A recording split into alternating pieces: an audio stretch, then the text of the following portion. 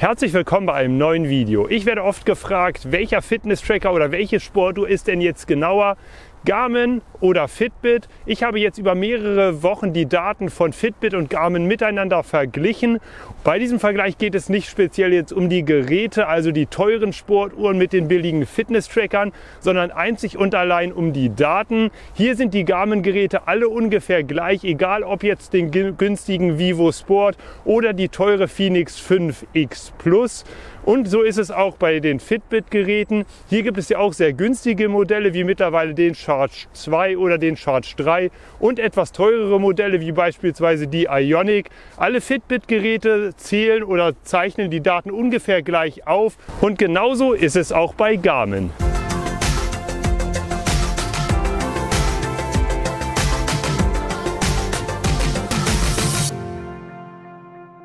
Da dieses Video sehr aufwendig war, würde ich mich natürlich sehr freuen, wenn ihr einen Daumen da lasst oder wenn ihr mich unterstützen möchtet, auch gerne ein Abo von diesem Kanal, denn so kann ich in Zukunft weitere coole Tests und Vergleiche für euch machen. Ich habe mir jetzt mal die Arbeit gemacht und alle Daten, die ich mit den Fitness-Trackern und Sportuhren in den letzten Wochen und Monaten gesammelt habe, in einer Tabelle getragen. Ich habe immer beide Geräte parallel getragen bei allen Sportarten, die ich getrackt habe.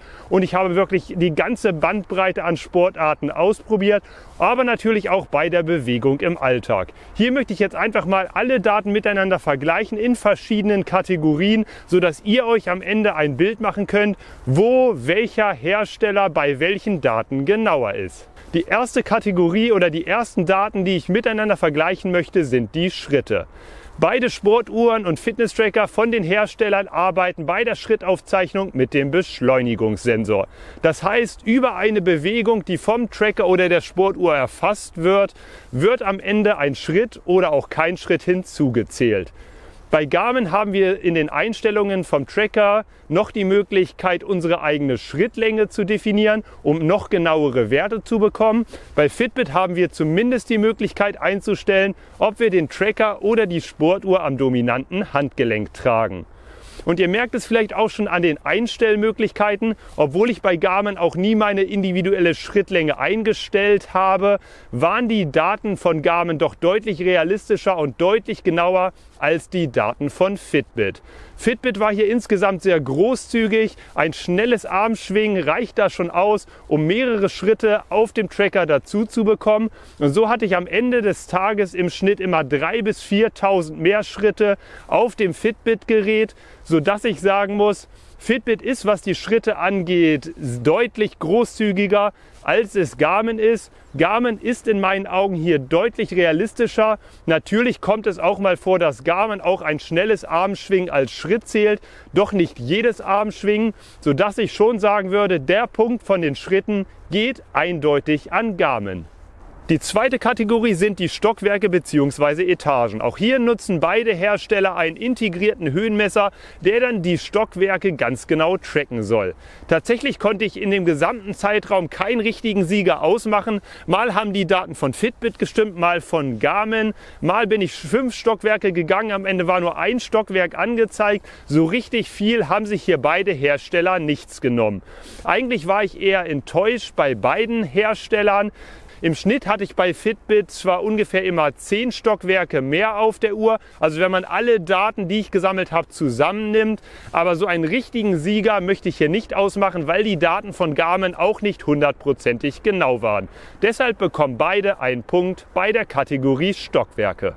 Die nächste Kategorie sind die Kalorien. Und hier meine ich tatsächlich die Gesamtkalorien, die am Ende eines Tages auf der Uhr stehen. Auch hier habe ich die Daten miteinander verglichen und hier hat sich ganz klar herausgestellt, dass Fitbit genau wie bei den Schritten bei den Kalorien äußerst großzügig ist. An Tagen, wo ich eine Aktivität, also einen Lauf, ein Training im Fitnessstudio oder einfach nur eine längere Radtour oder Wanderung aufgezeichnet hatte, wusste ich, dass ich am Ende bei Fitbit annähernd immer 4000 Kalorien auf der Uhr hatte. Das liegt vielleicht auch ein bisschen daran, dass auch die Schritte großzügiger bemessen werden, anhand von mehr Schritten auch mehr Kalorien am Ende auf der Uhr stehen. Allerdings muss ich sagen, sind die Kalorien dementsprechend auch eher unrealistisch. Bei Fitbit würde ich es gerne einfach nochmal probieren, eine 10.000 Kilokalorien Challenge zu machen.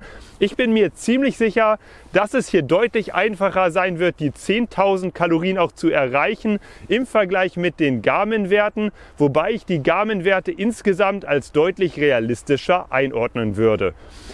Im Schnitt hatte ich so 800 Kalorien mehr bei Fitbit auf der Uhr, wenn man alle Daten zusammengenommen hat und wenn man jetzt die Daten miteinander vergleicht, sind die 800 Kalorien schon ein eklatanter Unterschied. Zumindest wenn man jetzt auch seine Ernährung so ein bisschen nach den getrackten Kalorien richtet. Hier würde ich mich nicht zu sehr auf die Daten von Fitbit verlassen und mich eher nach den Daten von Garmin richten, wo ganz normale Bewegung im Alltag nicht so viele Kalorien gibt und auch Sportarten, wozu wir gleich kommen, gibt nicht ganz so viele Kalorien wie bei Fitbit. Der Punkt für die getrackten Kalorien geht also eindeutig an Garmin. Die nächste Kategorie ist der Schlaf. Bei beiden Herstellern wird der Schlaf automatisch erkannt und erfasst. Das heißt, man muss weder Garmin noch Fitbit irgendwie in einen Schlafmodus versetzen, sondern beide Tracker erkennen automatisch, wenn man abends ins Bett geht.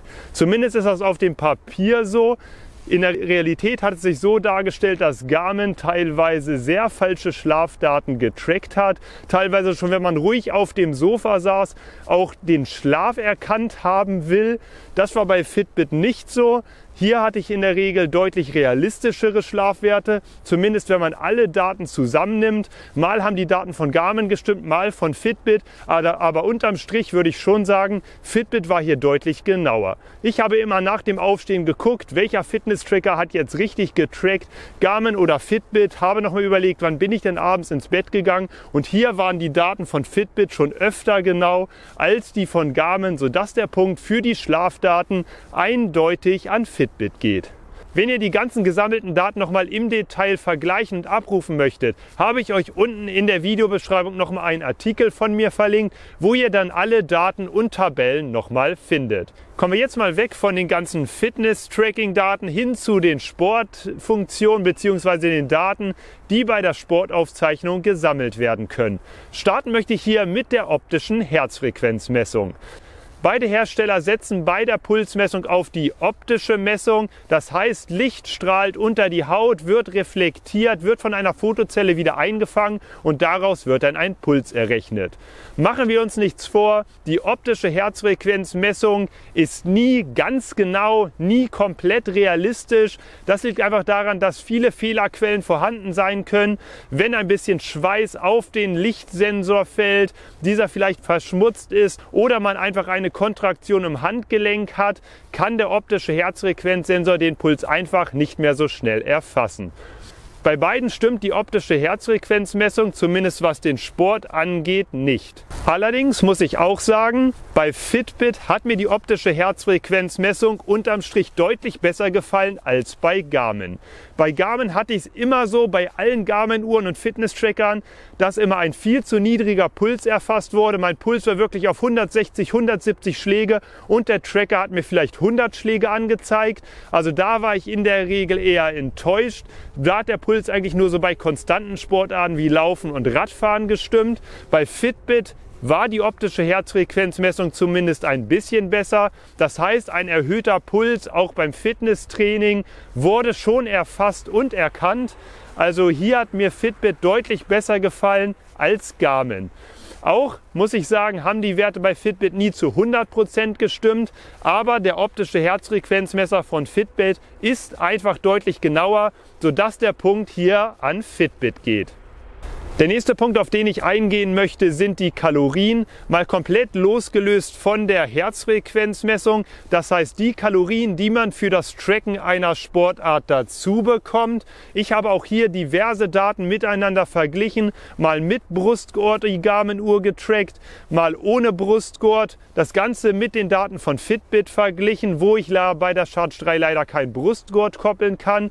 Was mir dabei aufgefallen ist, ist, dass bei Fitbit, wenn wenn man sehr lange Sportarten ausführt, also über einen längeren Zeitraum, zum Beispiel vier Stunden Wandern trackt, war Fitbit deutlich großzügiger als Garmin und auch deutlich unrealistischer. Wenn man die Daten mal miteinander vergleicht, habe ich für eine 4-Stunden-Wanderung bei Fitbit knapp 2000 Kalorien bekommen. Bei Garmin waren es nur ungefähr 1000, wobei die Werte von Garmin hier deutlich realistischer einzuordnen sind. Bei allen anderen Sportarten war es dann so, dass ich tatsächlich annähernd ungefähr die gleiche Kalorienzahl hatte. Obwohl der Puls von Fitbit in der Regel immer etwas niedriger erfasst wurde, haben am Ende die Kalorien immer ungefähr gestimmt oder waren ungefähr identisch mit denen von Garmin. Aber halt diese extrem starke Abweichung bei einem langen Zeitraum, wenn man sehr lange Sportarten oder Sporteinheiten trackt, waren die Werte von Fitbit doch sehr unrealistisch, sodass der Punkt für die getrackten Kalorien beim Sport, mal abgesehen davon, dass man bei der Fitbit Charge 3 ja auch kein Brustgurt koppeln kann, bei Garmin deutlich realistischer waren. Der letzte Punkt, auf den ich eingehen möchte, ist die Distanzaufzeichnung beim Sport. Bei vielen Garmin Sportuhren und Fitness-Trackern ist ja zumindest ein GPS-Sensor verbaut oder bei neueren auch sogar der Galileo-Sensor, womit wir dann noch ganz genauer die Strecke erfassen können. Bei Fitbit wird in der Regel auf einen GPS-Sensor verzichtet. Hier haben wir aber natürlich die Möglichkeit, via Connected GPS mit unserem Smartphone dann die Strecke ganz genau aufzuzeichnen. Wenn man natürlich GPS, Connected GPS nutzt, benutzt, dann nehmen sich die Werte nichts mit den Werten, die Garmin erfasst. Wenn man allerdings auf den reinen Beschleunigungssensor setzt, also anhand des Beschleunigungssensors dann auch die Distanz misst, dann ist Fitbit deutlich großzügiger als Garmin. Das kann ich mir nur so erklären, dass das natürlich anhand der Schritte erfasst wird, weil Fitbit ja auch bei den Schritten großzügiger ist, haben wir am Ende auch eine deutlich großzügigere Distanz als bei Garmin.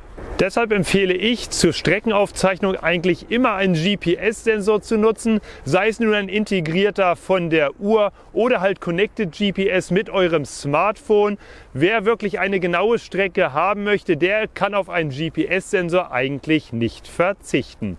Der Punkt für die Streckenaufzeichnung geht aber hier an Garmin, weil Garmin einfach schon bei vielen Sportuhren und Trackern einen GPS-Sensor integriert hat und Fitbit hierauf meistens verzichtet und eher auf Connected GPS setzt. Das war jetzt mein Vergleich von den Fitness-Tracking und Sportdaten von Fitbit im Vergleich zu Garmin. Bei einigen Kategorien hat Fitbit die Nase vorn, bei anderen wiederum Garmin. Ihr könnt ja einfach mal in die Kommentare schreiben, wo euch eine Genauigkeit besonders wichtig ist und ob euch vielleicht selber auch schon was an eurem Fitness-Tracker oder eurer Sportuhr aufgefallen ist und wo diese eurer Meinung nach ungenau ist. Lasst ansonsten auch gerne einfach Feedback in den Kommentaren da oder wenn ihr mögt einen Daumen oder wenn ihr mich unterstützen möchtet, auch gerne ein Abo von diesem Kanal. Vielen Dank fürs Schauen und wir sehen uns beim nächsten Video.